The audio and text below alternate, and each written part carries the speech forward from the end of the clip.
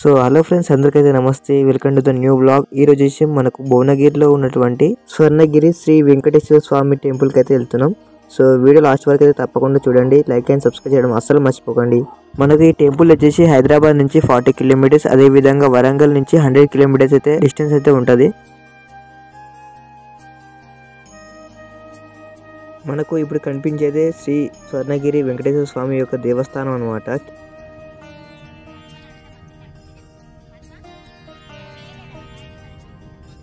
తెలంగాణలోనే అతిపెద్ద దేవాలయంగా ప్రసిద్ధి పొందినటువంటి శ్రీ స్వర్ణగిరి వెంకటేశ్వర స్వామి యొక్క ఆలయం దగ్గరికి అయితే వచ్చేసినాం.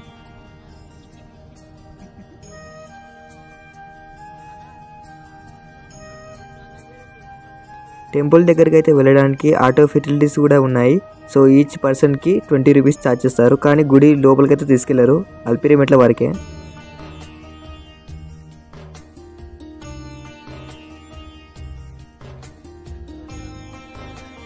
సో ఫైనల్గా మనకు గుడి ప్రాంగణం అయితే వచ్చేసింది. కమాండ్ లోపల నుంచి సీదా వెళ్ళిపోవాలి మనం.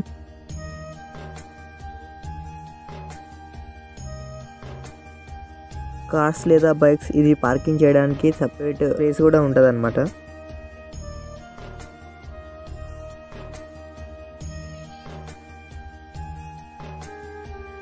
మనకు లెఫ్ట్ సైడ్లో చూసినట్లయితే ఇది బ్రహ్మరథం అంటారనమాట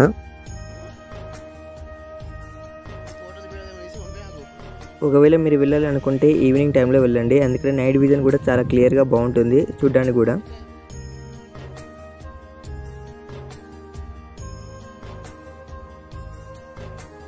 సో కింద దేవుని పాదాలు అయితే ఉంటాయి. దాన్ని దర్శించుకొని ముందుకు సాగితే మనకు ఈ గుడి గురించి కొన్ని విషయాలు అయితే చెప్పబోతున్నా.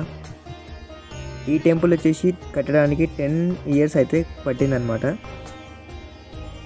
ఈ గుడిని కట్టిన వాళ్ళు శ్రీ డిఎన్వి ప్రసాద్. తాపతి గారు.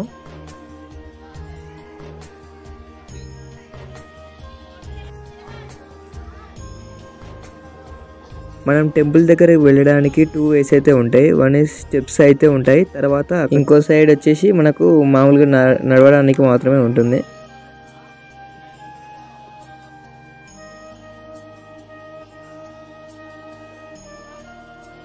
ఈ గుడిలోని ప్రతి ఒక్క విగ్రహం అనేది కృష్ణశీల అంటే అందులో పురుషశీల అన్నటువంటి రాయితో కట్టారు. అది నల్లగా ఉంటుంది.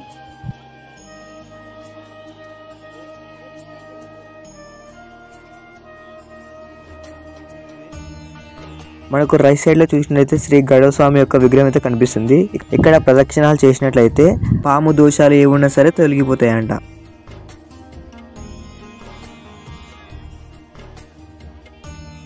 నెక్స్ట్ వచ్చేసి మనకు బాల ఆంజనేయ స్వామి యొక్క విగ్రహం అన్నమాట. ఈ విగ్రహం కూడా కృష్ణశీల అంటే పురుషశీల ద్వారా నిర్మించడం జరిగింది.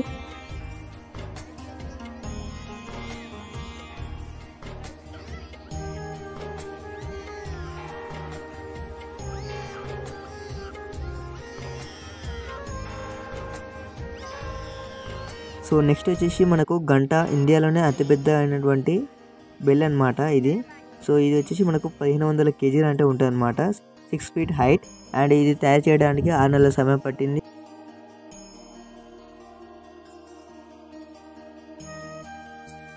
శ్రీవారి యొక్క దర్శనం చేసుకున్న తర్వాత మనకు ఈ వాటర్ ఫాల్ దగ్గరికి వచ్చి అంటే వాటర్ ఫాల్ అనొద్దు దీన్ని కాకపోతే ఇది ఈ దేవుని దగ్గరికి వచ్చి మనకు ఏ కోరికలు కావాలన్నా సరే సంతానం కానీ ఏదైనా సరే కోరికలు అనేది నెరవేరుతాయని ఒక ప్రజల నమ్మకం.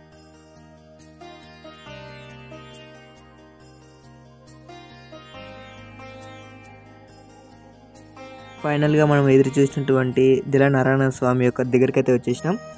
ఇక్కడ సైడ్ అయితే నాలుగు సైడ్ నాలుగు మూర్తులు అయితే ఉంటాయన్నమాట. ఇది వచ్చేసి మనకు హంపీలోని వన్ ఆఫ్ ద టెంపుల్ నుంచి అయితే తీసుకోవడం జరిగింది. సో అక్కడ డిజైన్స్ ఏమి ఇక్కడనే డిజైన్ చేశారంట.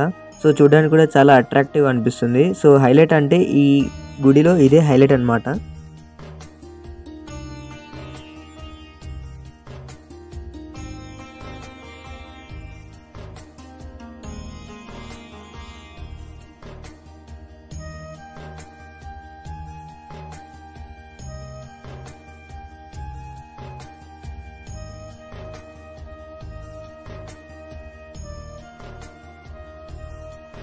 సో ఒకవేళ మీరు రావాలని మీ ఫ్రెండ్స్ కానీ మీ ఫ్యామిలీ మెంబర్స్ కానీ రావాలనుకుంటే మీకు ఈవినింగ్ టైంలో బెస్ట్ టైం అని చెప్పవచ్చు ఎందుకంటే లైట్ విజన్ అదే సూపర్ అట్రాక్షన్ అనిపిస్తుంది ఈ గుడి.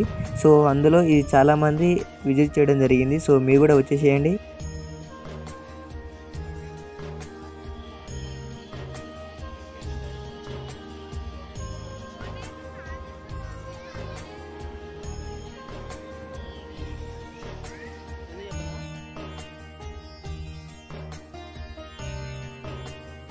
సో మీకు వీడియో స్టార్టింగ్లోనే చెప్పాను. ఈ గుడికి రావాలంటే టూ వేస్ అయితే ఉన్నాయి. ఒకటి స్టెప్స్ మరి ఒకటి ఇలా నడవడానికి ఇది ఒకటి ఉంటుంది అనమాట ఇది సింపుల్గా నడుచుకుని రావచ్చు.